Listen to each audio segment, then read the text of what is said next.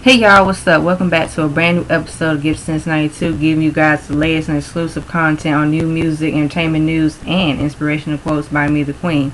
I'm back at it again with a brand new episode of the song review of the day. So let's get right into it. So, um, I'm going to review this singer. Her name is Ayanis. Um, the song is called One Night, featuring Wiz Khalifa. I just got finished listening to the record. Um, overall, I think the record is cute for what it is. Um, I dig it.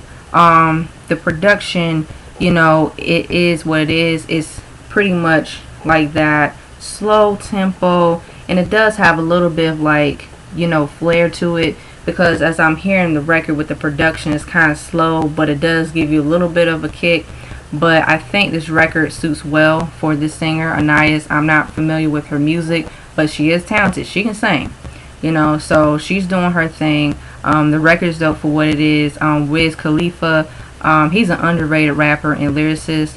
I've been following him for a while too. He makes pretty good and dope and catchy songs and I like that. You know Wiz Khalifa he's adding his own flavor and twang to this record and I like the chemistry because it does have more of like that like vibe you know neck and neck but this song right here, One Night, is basically like a sensual song. So she's expressing herself as a woman, her sexuality, which is cool. Same thing with Khalifa. Um, I think the song right here is pretty much like when I hear pretty much that slow pattern. I think she sampled it. I think they had sampled the song like Ginuwine um, Pony. But I do hear a little bit of like the kind of little bit like bits and pieces of Ginuwine's like Pony, but I do hear a little bit like that, you know, just the bridge and just like that. I don't know, it does give me a little bit of umph, but I think that in terms of the production and how to flow the song and how the content of it, it is what it is. And I do appreciate, like I said, her lane in music. I mean, there is room for female artists, so I do not, you know, like I said, I don't come on my platform bashing these up and coming artists because there is room for everyone. I think everyone has a lane. So like I said, I think Ayanis, you know, she's heading in the right direction. But I also think that, you know, her music, I think what's missing a little bit, and this is constructive criticism, the song can add more like a little bit of an up tempo because when I was hearing the whole entire song, I kind of think that the production could have been a little bit better. Now, this is my opinion. I'm not hating on the record. I'm not, you know, bashing on it. But I think that constructive criticism, I, I feel like it's just missing something. It's just missing that thrill. It's missing that edge and that grittiness. And I think that pretty much she's capable of making like up-tempo records. She, you know, she's capable of making like records that just, it does have that spark, but it's just missing a little bit of like that umph.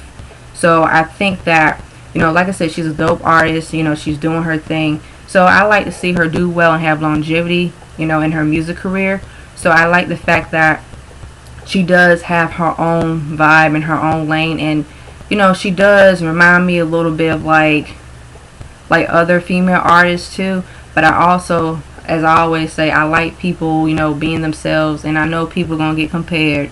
And I know artists are going to get compared by other artists. But I like the fact that for her, you know, she's come into her own, and that's a great thing. Um, I think the record, you know, for one night is pretty much like, you know, that overall, like that appeal. And, and I think with this record, she is like, you know, gearing towards like that mainstream appeal. That's just my opinion. But I can hear like a little bit of today's music in this record because even today's music now is kind of like that slow mid tempo you know kind of a little bit of like that slow and a little bit and like that fast pace. But overall the record is dope for what it is. Um, I look forward listening to um, Ayanis music. I hope I'm pronouncing her name right. Um, and I think like I said Wiz Khalifa he did his thing on this record you know and it is what it is so I love it. So yeah guys any Ayanis fans out here any Wiz Khalifa Khalifa fans out here, let me know down below. Also, she does have like that edginess and that appeal and that badass appeal, so I like that too. I like how she has like her eccentric, a little bit of like that, you know, swag and, you know, like that very cool charisma. So I really like that. Um, but overall, the record is really dope. I like it.